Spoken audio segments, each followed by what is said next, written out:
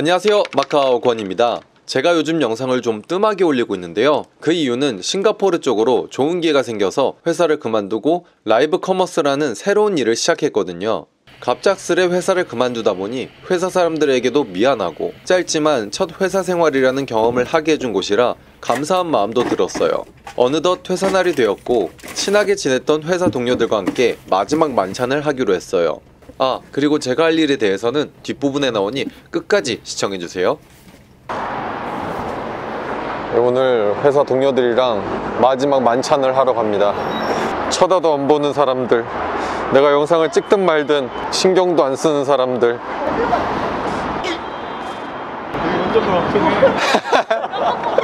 아 혼잣말 하는 거 아니야.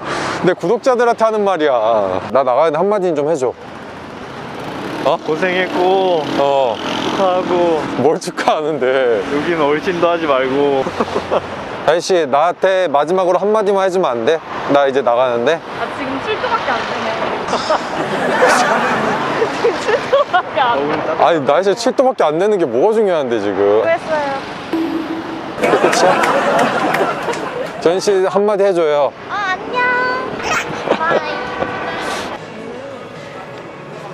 나 live commerce 하면 좀 들어와서 봐줘요. 근데 무슨 일이에요 근데? 예를 들어서 화장품, 의류, 뭐 신발이라든지 뭐든 싱가포르 쪽에다가 즉석으로 판매를 하는 거야 live로. 그러니까 약간 라이브 홈쇼핑 같이 생각하면 돼요. 뭔데요? 그러니까 예를 들어서 감튀를 소개하는 거지. 아, 한국에 이런 감튀가 있다. 싱가포르에는 없는 이 촉촉함과 바삭함 이런 거 한국에서만 찾을 수 있다. 뭐 이런 식으로. 그 라, 승현 씨가 하는 건 아니잖아. 내가 하는데? 그 하는 거를 무대 무대도 해? 처음부터 끝까지 다 해. A부터 Z까지. 내가 MC처럼 하는 거야? 음. 예를 들어서 나이키라고 생각해. 싱가포르도 나이키가 있고 우리나라도 나이키가 있어. 근데 한국에서만 파는 예를 들어 한정판이라든지 아니면 싱가포르에 없는 그런 디자인들이 있단 말이에요.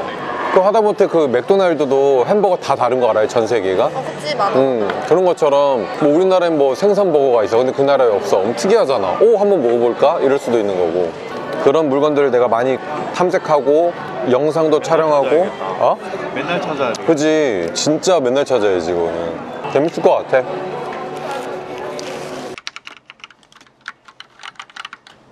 잘 지내세요.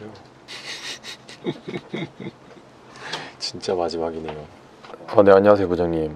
소식 들으셨는지 모르겠지만 저 오늘 아 그래요? 부장님께 인사는 드리고 가는 게 예의라 생각해서 네 부장님 저 그러면 가보겠습니다 그래, 수고했어요. 네 그동안 고생하셨습니다 네. 열심히 하고. 네, 감사합니다. 그래요. 네, 안녕히 계세요.